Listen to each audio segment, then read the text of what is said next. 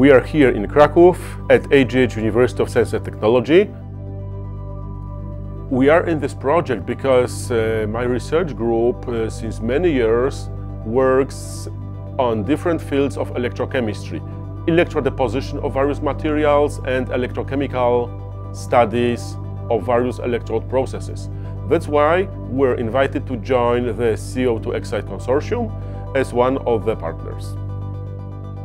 First, we are testing catalysts produced by other partners. We have many different types of copper-based electrodes delivered by our project's partner or prepared in our laboratories. Among others, we tested uh, different uh, forms of metallic copper, for example, copper monocrystals of different orientations, uh, copper nanowires, copper sputtered or electrodeposited on the surface of uh, different substrates. And uh, most uh, promising one, copper sputtered uh, on the surface of gas diffusion electrodes like carbon felts or carbon papers. Carbon paper, it looks like a paper, but it's black material composed of carbon fibers. The thin layer of copper, which is more or less 10 nanometers, is a catalytic material. So we have porous carbon substrate covered with just 100 nanometer layer of copper, which is a catalyst, and carbon dioxide must permeate through, through this membrane to the electrolyte. And at the contact of these three phases, at this very tiny CO2 bubbles, the reaction takes place.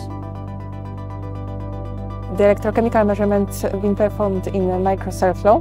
One of the tested electrodes is already placed in the microcell. Through the window, uh, one of the tested electrodes we uh, already uh, input uh, here. Through the window we can see this electrode. The active surface is set towards the electrolyte at the opposite side, uh, we uh, input an anode. The electrolyte input is here, while the carbon dioxide is here.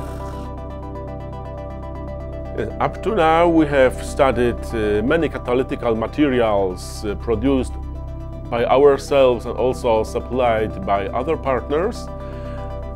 We somehow optimized the performance of the catalyst. We haven't achieved yet the desired stability, but we have already achieved the desired working parameters. High current density, sufficient electrolyte flow, and high Faraday conversion yield of CO2 to ethylene.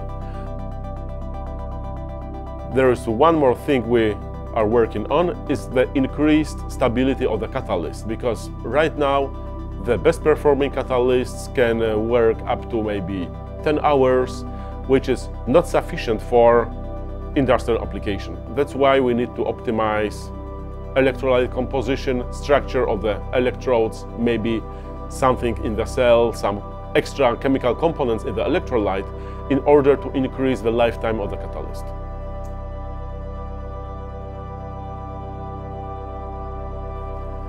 Optimization of a chemical process can be compared to tuning of a musical instrument. At the very beginning, the process is not optimized and the sounds of an instrument are really nasty.